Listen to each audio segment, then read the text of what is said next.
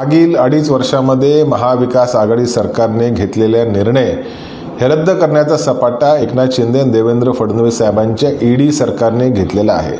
त्याचबरोबर विविध महामंडळं मागासवर्गीय आयोग आदिवासी विभाग ह्याच्यावर केलेल्या नियुक्त्या देखील ईडी सरकारने रद्द केलेल्या आहेत.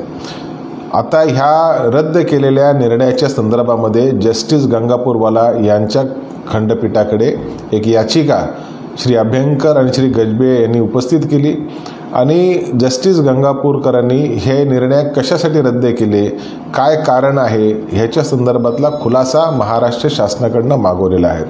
वास्तविक ईडी सरकार एकनाथ शिंदे आणि देवेंद्र फडणवीसांचं सरकार हे महाविकास आघाडी सरकारने घेतलेले सर्व निर्णय रद्द करण्याच्या मार्गावर असल्यामुळे त्यांच्याकडनं फार मोठी उपेक्षा महाराष्ट्राच्या जनतेची होत आहे.